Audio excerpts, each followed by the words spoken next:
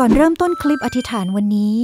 ขอกดไลค์ กด Subscribe และกดกระดิ่งแจ้งเตือน เพื่อรับชมคลิปอธิษฐานใหม่ๆ ด้วยกันนะคะ พระเจ้าที่รัก เวลานี้ลูกเกิดปัญหาในชีวิตมากมาย ที่ส่งผลกระทบต่อการดำเนินชีวิต ลูกเข้ามาต่อเบื้องพระบาทของพระองค์ เพื่อมอบปัญหาที่ลูกมีไว้กับพระองค์ ลูกมีความเชื่อ ว่าการอัศจรรย์ของพระเจ้า เกิดขึ้นท่ามกลางผู้ที่มีความเชื่อเสมอ แม้ว่าลูกจะถูกขนาบด้วยปัญหาหนัก แต่พระเจ้ายังคงจับจ้องมองดูลูกอยู่ ลูกอยู่ในความอุปถัมภ์ของพระองค์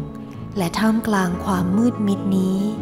ลูกจะได้พบกับพระพรและการอัศจรรย์พระสัญญาของพระองค์ได้บอกว่า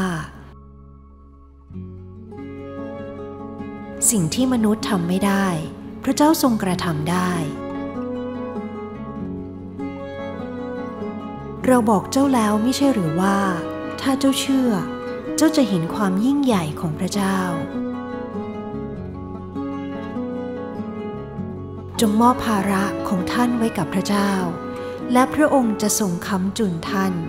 พระองค์จะไม่ทรงยอมให้คนชอบธรรมคลอนแคลนเลย พระเจ้าที่รัก ลูกขอตอบสนองต่อปัญหาด้วยความเชื่อ เพราะความเชื่อจะเป็นกุญแจสำคัญ ที่จะเปลี่ยนสิ่งเลวร้ายให้กลายเป็นพระพร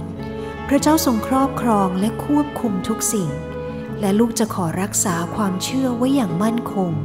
เพื่อรอคอยที่จะพบกับการอัศจรรย์ของพระองค์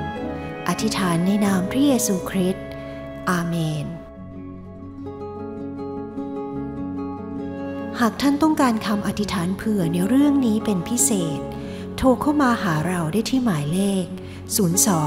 097 1900 กด 1